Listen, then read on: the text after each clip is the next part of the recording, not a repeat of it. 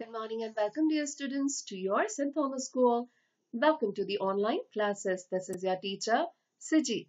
Till now we already learned how to write capital A, small a, capital B, small b, capital C, small c, capital D, small d, capital E, small e, capital F, small f, capital G, small g, capital H, small h and capital I, small i. And today we are going to learn how to write the letter J. So we already know this is our capital J or the big J and this is our small j or as we say this is our mama J and this is our baby J. So how to write them?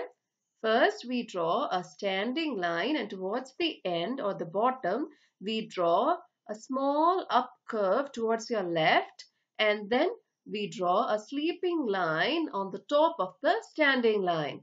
Okay, that makes our capital J.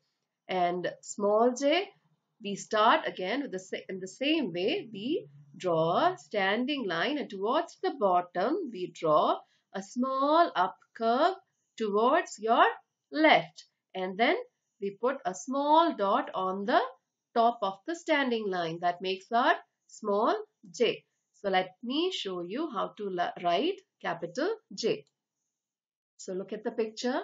We start drawing a standing line and then towards the end we draw a small up curve to the left. Okay. And then we draw a sleeping line on the top. That makes our capital J. Okay.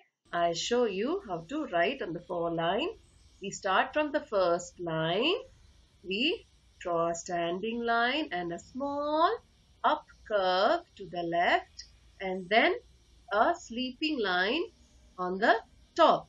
Okay, once again, let me show you. So, first we start to draw a standing line from the first line towards the third line and then we draw a small up curve okay towards the left and then a sleeping line on the top. That makes our capital J.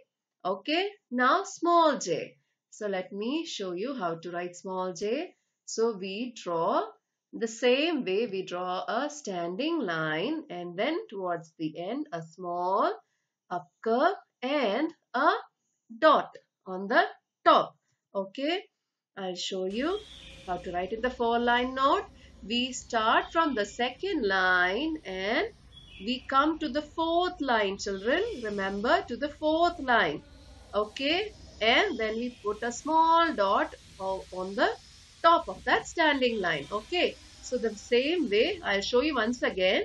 We start a standing line from the second line towards the fourth line. That is the last line. And then we make the small up curve and a small dot that makes our small j. So I hope you learn how to write capital J and small j.